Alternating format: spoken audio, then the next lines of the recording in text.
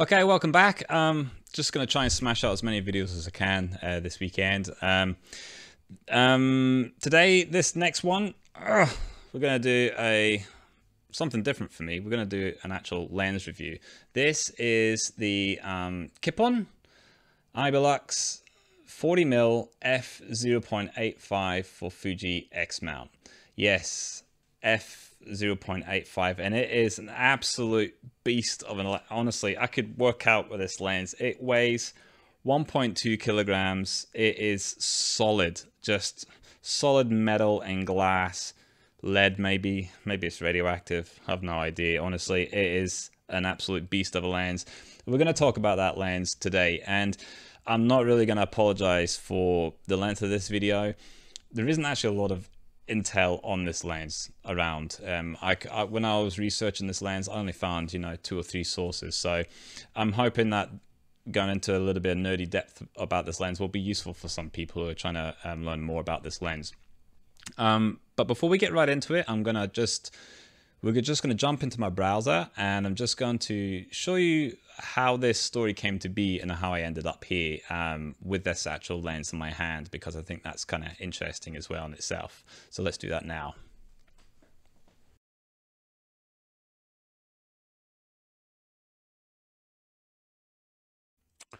Okay, so here we are at um, this website um, from Alik Griffin. Um, think I'm saying that right, Alik Griffin. And it's a fantastic website. And this is how I discovered um, this Kipon lens. So he's got a really good place where you can go to lenses and just get a list of all the different types of uh, lenses that are available for the Fuji X mount, which is the camera I have. And as you can see, he's kind of categorized them into autofocus and manual focus and even the Chinese third party. And that is where you see the Kipon. Now, the interesting thing about this is I think the design is German based, but manufactured in Chinese for Kipon. Um, other ones I can't, can't speak of. But here's where I found out about this um, really super fast um, f uh, 0.85 lens. And there's been a few iterations of this lens. There's been the Mark, uh, the first one, the Mark II, and now the Mark III, which is one I'm reviewing today. So if you do go onto um, Alik's website, I definitely recommend you have a browse through all of this and um, get to know. I mean, really, his pros here. He he gets he gets straight to the point. Um, extremely shallow depth of field, very creamy, puffy bokeh Nice corner and edge performance when stopped down. Sharp in the center and great bokeh all apertures. 100% agree with absolutely everything he's just said. And this is just for the Mark II version, but it's the same is true um, for the, the third. It does uh, have CA wide open and there is a highlight set to bloom and vignetting is strong at f 0.85 to 1 and it is big and it is heavy. He's that's the end of the review. Honestly guys honestly that i mean he he's you know it's straight to the point. Um but you do i do recommend you go through his website and have a look at all the things um that he talks about. And the same he's actually done an updated one for the version 3 as well. So definitely check out that. Um what i wanted to just sort of uh, and ignore all my tabs by the way okay i won't I won't hear a single thing, negative thing said about these tabs are important. I mean, this one, for example, is a quick way to get, you know, a cat emoji. I find these, this stuff's very important.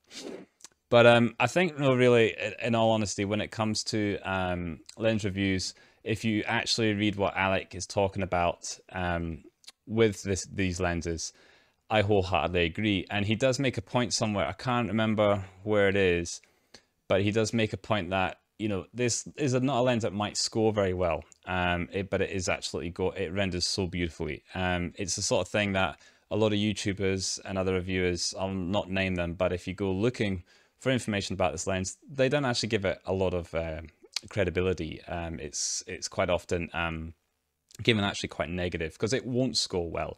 And I, and I think it's a real shame because we've moved into an age today where unless your lens scores well, it's not going to get any traction. And it's a real shame because we're missing an entire other side of photography, I think. Um, but anyway, we can we can talk a little bit more about that later. But I, I fell in love with Alik and his images and what he was saying about this lens. And then I realized the cost. It is a whopping 1780. I mean, it, US dollars. I mean, on the B&H website, it's the same thing again. And, you know, if I convert that to Aussie dollars, I'm getting close to, you know, $3,000 basically, if we're including customs, excise, shipping, things like that so expensive um, for what this really is. So, um, you know, I did what any any any good YouTuber would do is, you know, I reached out to them and I said, look, I've got a whopping 700 subscribers. Do you have any idea of the reach I have? If you were to send this lens to me, heavily discounted or free, I will give you a glowing review. So yeah, that's what this is basically. Actually, no.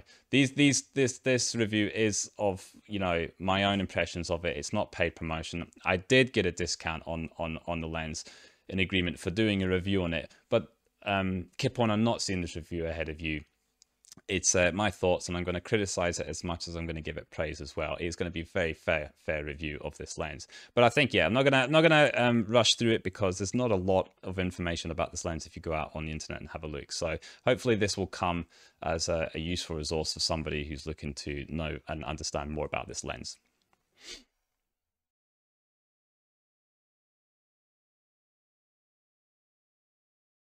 So how we're going to go about this is I'm just going to really talk about the lens. Uh, go to Alik's um, website if you want to have a little bit more of a pixel peep at things like image quality, corner sharpness, center sharpness, stuff like that. I'm not really going to do that today. I'm just going to give you my thoughts on this lens after using it for um, a number of months. Um, I've got quite a lot to go through, so I'm going to go quite quick pace because I want to try and get this video at least you know, try and get it under 30 minutes, right? Fat chance. But let's just let's just try. So, um, I've done the intro. I've kind of explained how I got onto it, and now the why. Okay, so why get this lens? Um, this this is because this is something I feel semi passionate about with photography is there's a trend at the moment that lenses don't get traction unless they, unless they are scoring excellently in tests. Um, you know, it's like this new Fujinon X 18mm f1.4, absolutely beautiful lens, really beautiful.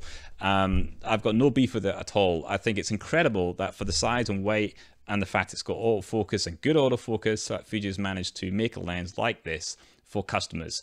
It's insane to me that at f1.4, the edges and corners are really good good quality. And I saw the similar trait with the XF50mm f1 that was considering buying also, and may still buy some some point down the line. But there is something I think with these type of clinical resolving lenses um, that I find somewhat odd at times in certain images, and uh, it's a hard hard thing to kind of put into words. But I would I find it, you know, if you have a portrait, for example, and it's just on one person, then I quite like that one person being you know, good sharpness, good image quality, and then for the rest of the frame to fall apart. Sorry, inverted commas. So meaning that, you know, the corners and edges are a little bit soft at those areas because I feel as though it, it pulls the attention a little bit more towards the subject. So this is, you know, people I've, I've, it's really like i say it's hard to explain. I've, I've seen portraits of somebody maybe leaning on a rail for example and them and the rail are in focus but the rail extends right across the frame.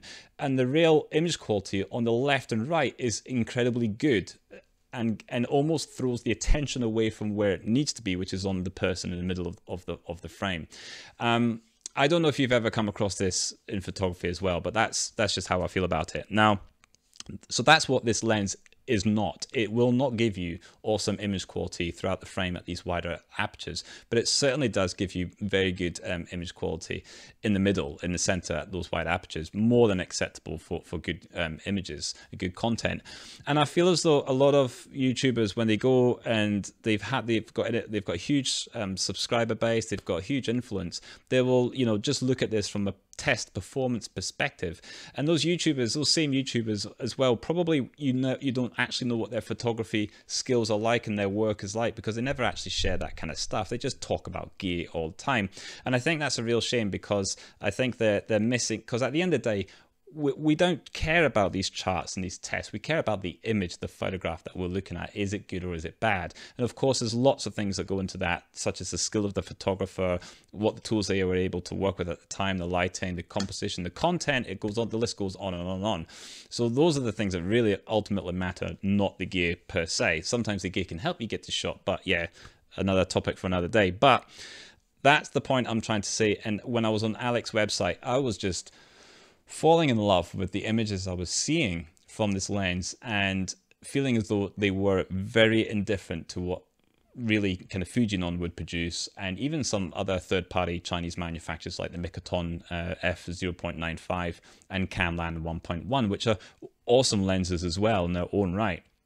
But um, I just felt as though what I was seeing here was a unique look, okay, a unique look. So that would be number one is this lens has a unique look. I think you, I think we could shoot the XF50 mm f1, we could do a Mitakon 095, and we could do this lens, and we can have some comparisons at different apertures. And I think you will start to see a look from this lens. Now, I'm not saying it's kind of like a, a Lensbaby-esque type type look to the um, the images. It's, but I do feel as though it's got a an artistic, you know, stamp on it. You know, it twirl to its effect. You know. But what I also really like about this lens is it, it is also I kind of consider it a hybrid lens. It also behaves itself. It's a grown-up, mature adult when you want it to be. Once you've had your fun with those wide aperture shots, once you start stopping down, even to something like f2 or 2.8 or something, you'd be surprised at you know how uniformed and incredibly the good the image quality is from corners to corner, um, edge to edge.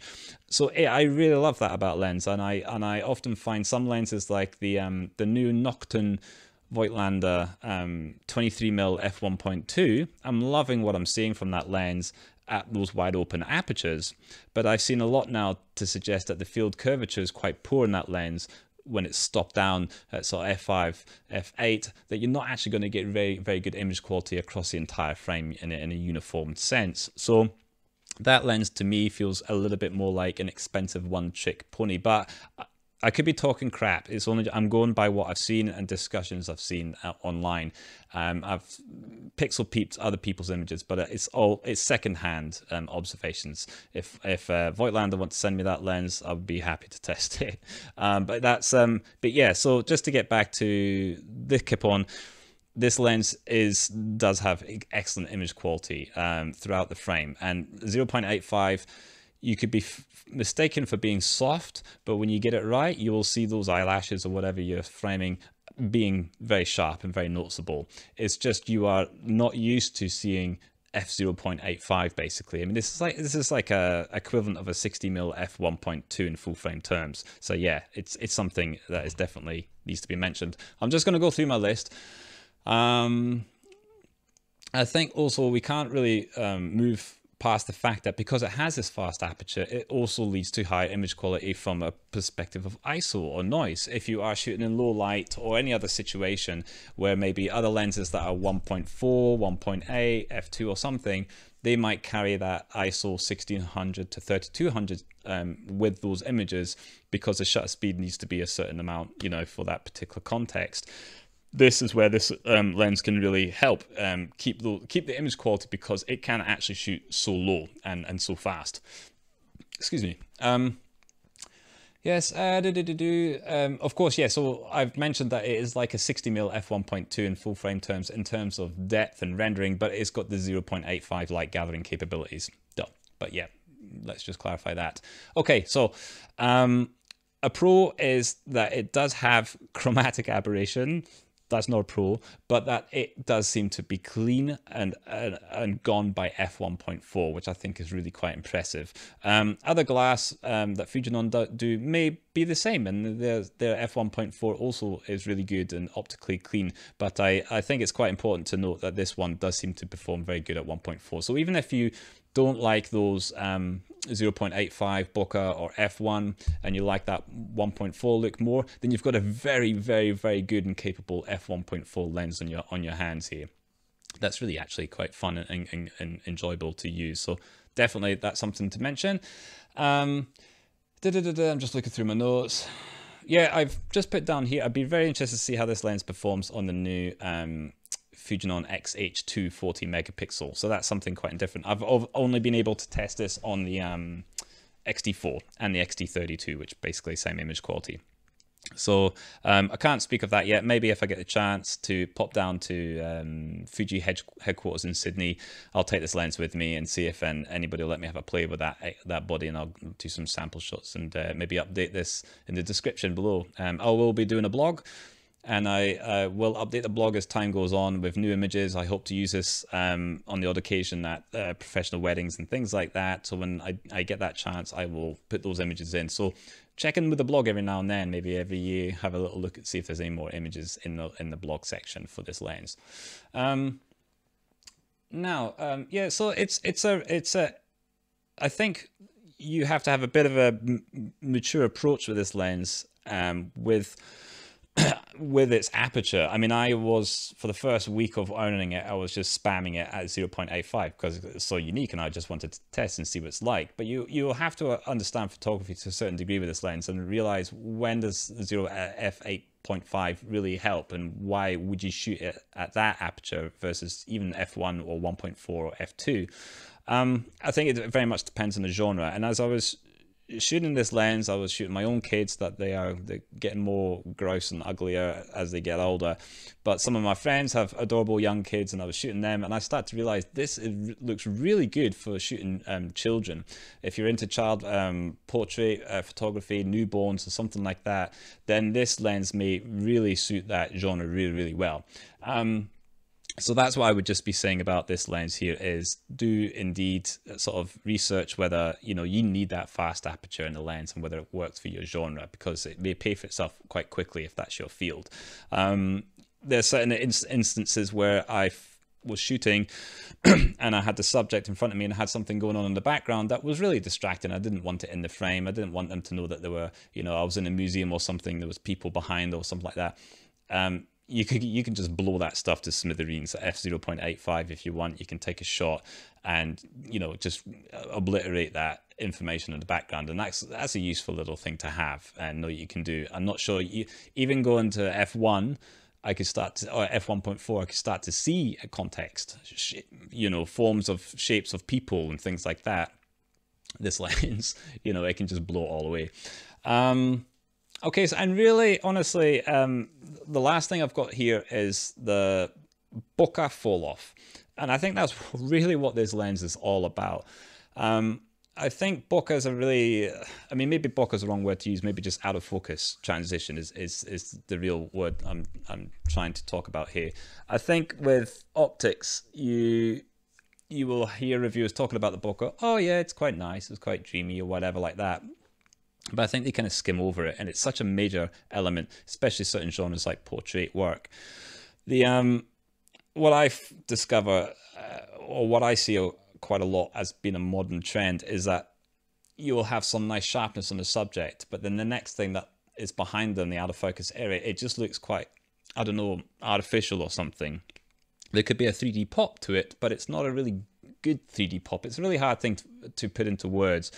Um, I found I found with this lens, I don't know if I've used a lens in the past that has as beautiful a transition from from where you've nailed focus to close to where you've nailed focus for how it's rendering that that blur and to the next part a little bit past it so you know if you've got an eye and you know as it comes up to the ear and beyond that kind of that bokeh fall off I think is absolutely incredible with this lens. I think it is one of the the, the strong traits that gives it this lens that unique look um, that you're not seeing elsewhere in some other other lenses. It's painterly. I don't know. I, I don't want to be corny and use kind of you know those types of words, but it it is something um, that I have I have noted, and I think it's one of its its strengths. It's almost the entire point of this lens and it it brings the interesting question for me as to whether this lens is about being f0.85 or whether it's about the optical recipe because you can still see this fall off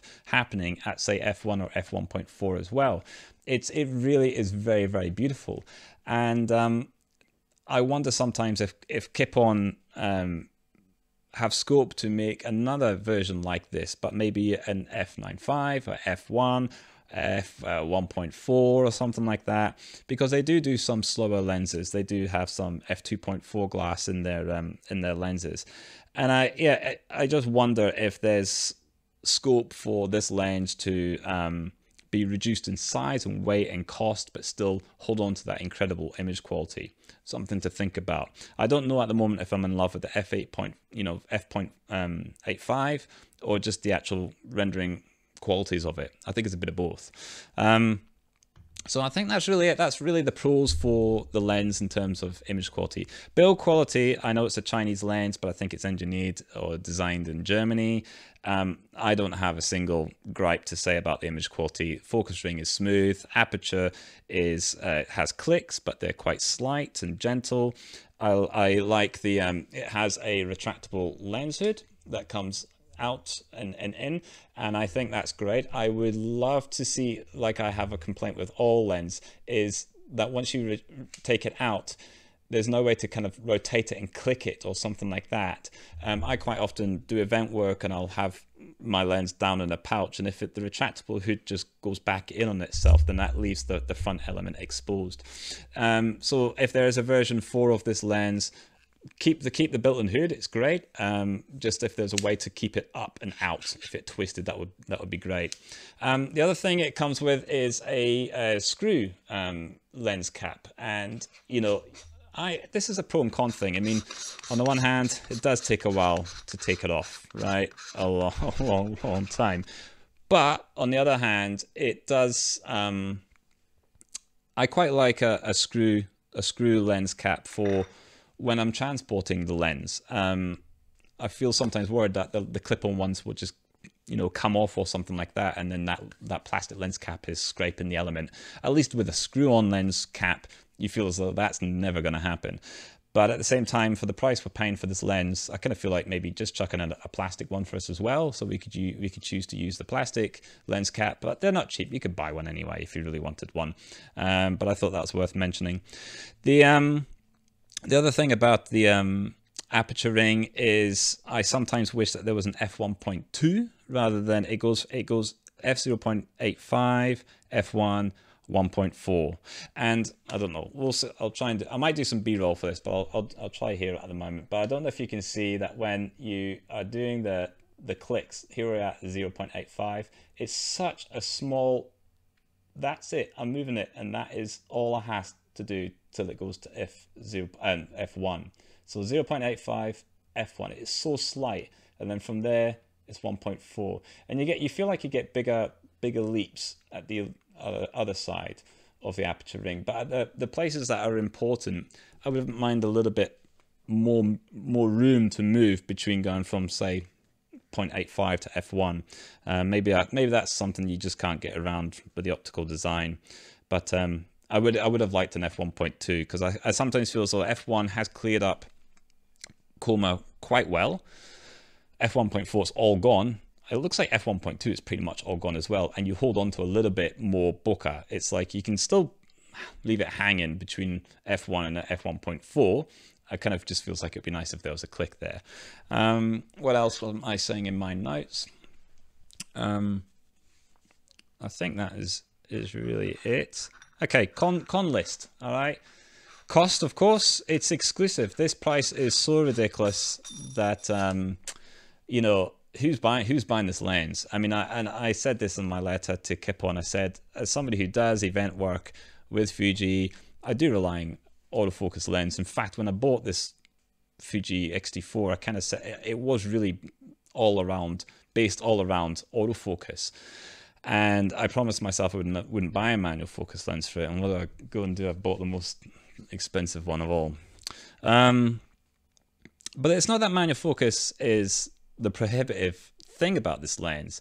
Uh, the the features of Fuji cameras to be able to punch in and zoom and focus peaking really do actually aid and help massively for the, the case usage. The biggest problem with this lens actually is, is its price. You have to justify it at so much money for what is essentially a specialist lens. I'm not going to run around and do an entire wedding with this lens.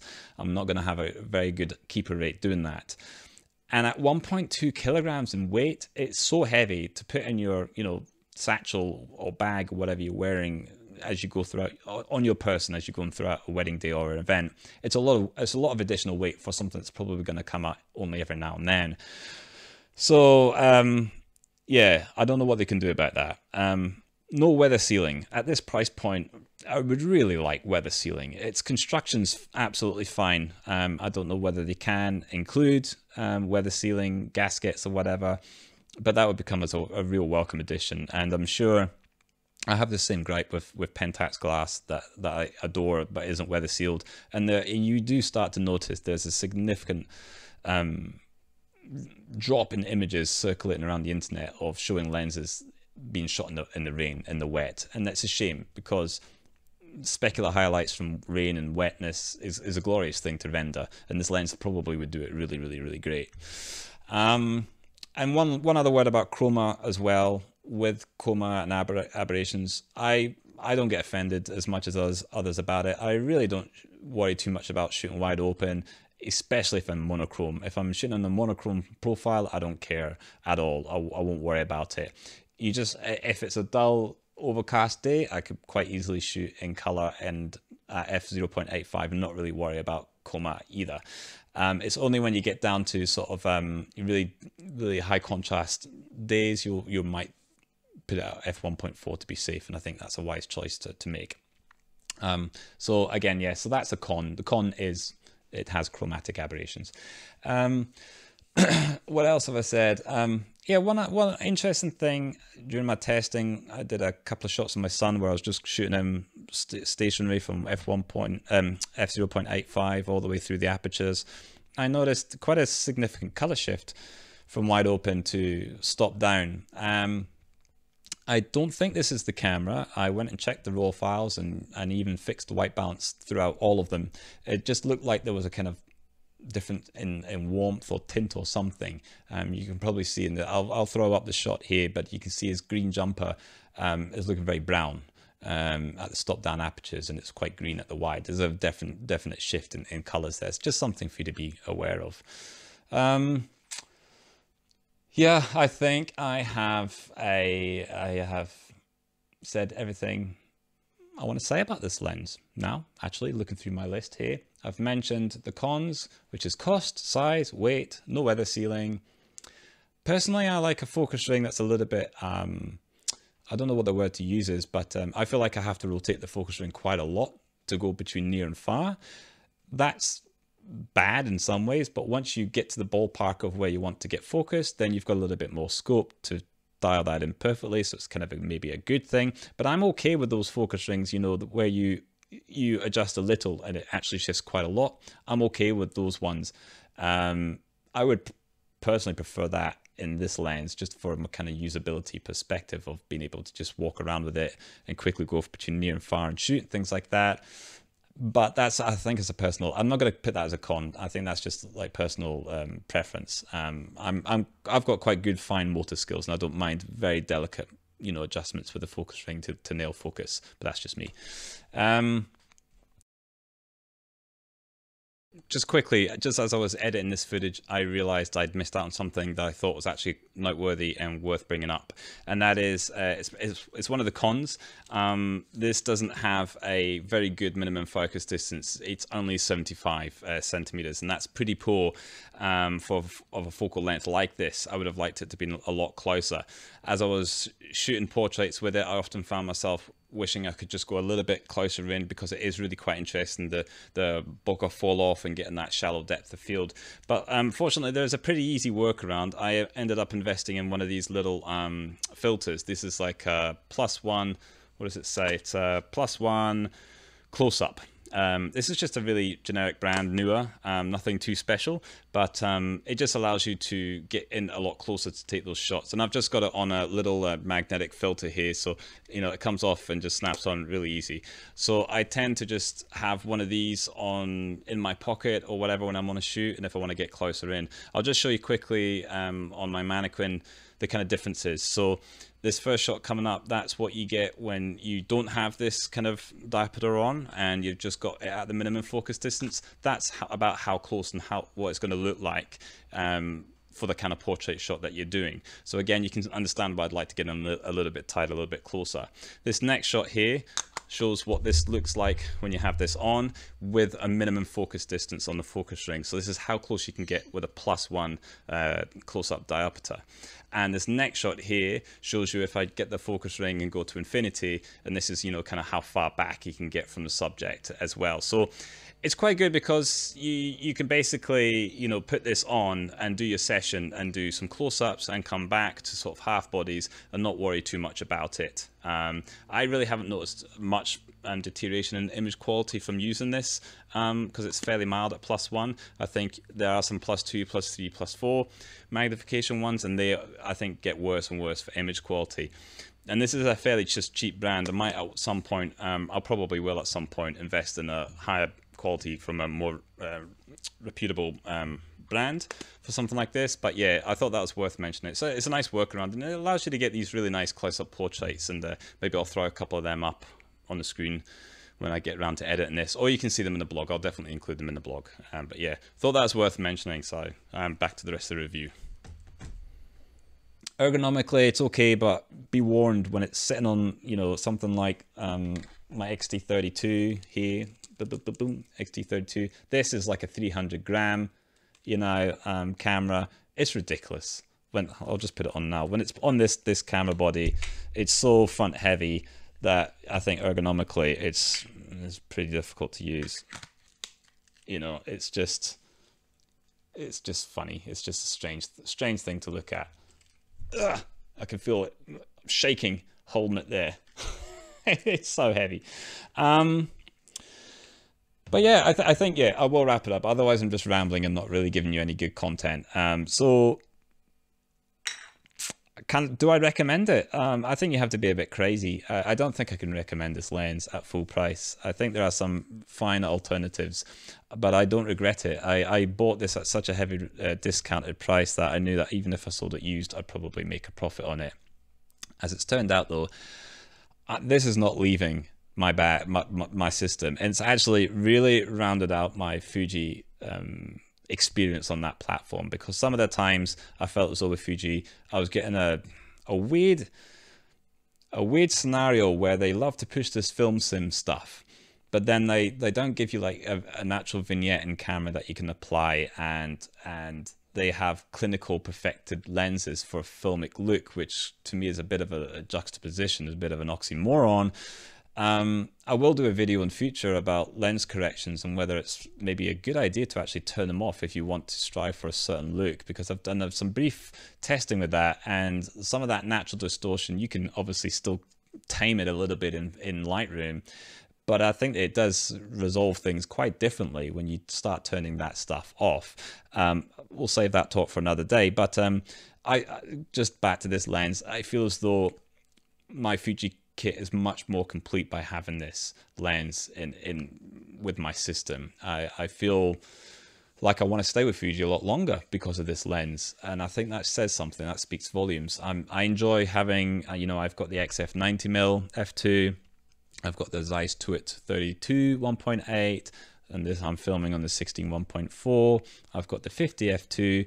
I've got lots of lenses that I love from Fuji, and they all have different tasks and they're, and they're good for autofocus and other needs. But I'm very glad to have this lens because I think it does provide a very different look entirely, and I think that kind of complements you know your portfolio or your work that you're going to do for clients and things like that. So I will leave it there. I do recommend it. Can't really recommend it at the price tag it's at though. Unfortunately, it's just really exclusive. You have to have very deep pockets and be a little bit insane when it comes to rendering and looks to go down this rabbit hole. Um, I'm insane to a certain degree, and that's why it's I've got it in my hands. But there is a limit, and and the price tag it sits at is that limit. I should mention just briefly before I go.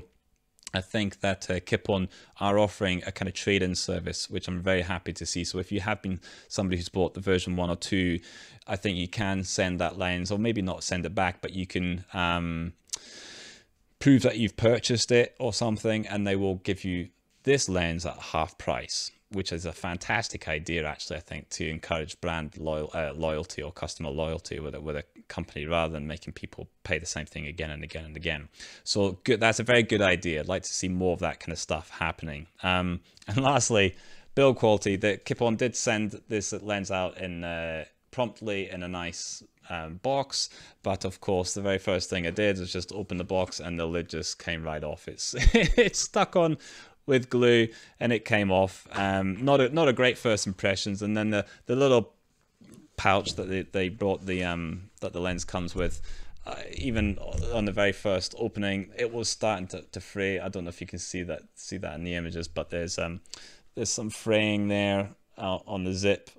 If the lens will focus, there you go. You can see the kind of fraying there against my forehead, and just like the stitching is just not not great at all.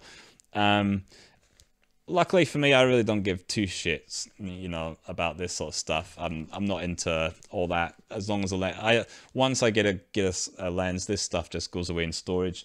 Um, in case I ever sell it, I don't use the pouches or anything like that, and I can just glue this lid back on. You know, I don't really care about that kind of stuff. I care about the actual build quality of the lens, and in that respect, it's absolutely fine. Um, I think I don't know if I've already touched on Lensbaby. Maybe I'm talking and repeating myself here, but I've shot Lensbaby lenses in the past. They also are kind of interesting lenses where they can be artistic and also behave a little bit when stopped down.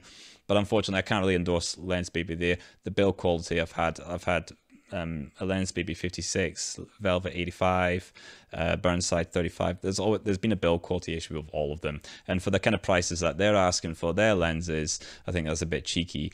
Um, I've not just had this lens a couple of weeks. I've been using this lens now for um, three three months, I think, or if not longer. Um, is not it's there's absolutely not a single concern for build quality. I'm not finding the focus ring is getting more loose or the aperture ring is getting wobbly or anything. It just seems to be at least this this month this far into usage to be an absolutely fine and it does feel premium. I also appreciate the fact that it doesn't seem to be a fingerprint magnet for despite this kind of matte um, or not matte but this type of metal material it does seem to be um, I, I never find myself having to wipe it or clean it or anything like that. So that's pretty cool. Anyway, I am. I know I'm rambling. I'm going to shut up. Leave me a comment in the section below. I'll link a, a, the blog where I'll have some sample images. Maybe you can have a look at them and digest the images a little bit more. And I'll update that as I take more images with this lens uh, going forward, especially in a professional sense. Just haven't had the chance really to take it to weddings or not had the moment to really think it would it would be better than using something else. So um yeah, I'll leave it there. I'm looking at my timer, I'm about 28 minutes, so um, including the intro, yeah, we're getting on under 40 minutes. That's way too long. Apologies. All right. Till next time, take care and uh, goodbye.